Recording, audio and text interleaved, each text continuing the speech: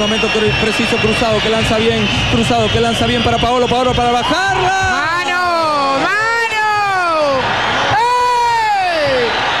Se vuelve es una loco. Mano, es una mano porque es el pivoteo. Es justo para un hombre de Perú.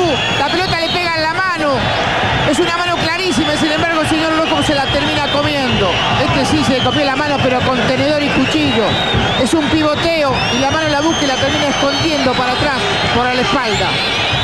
La mano es de Jara, Sí, que señor. volviendo se lleva la pelota con la mano. Está loco el banco peruano, ¿no? Mira, te lo digo de verdad, ha perdido la razón ya.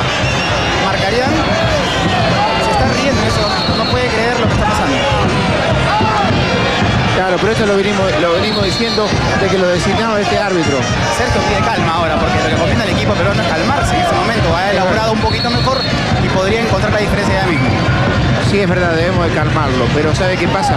En una mano de esa, por eso es que hay la reacción del banco. Porque es una mano clarísima.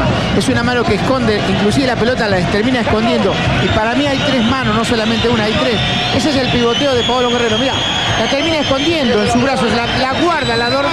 Es como una jugada de arquero. Se la lleva con la mano. Pero claro, La guarda con la mano. la guarda con la mano, se la termina escondiendo en la espalda.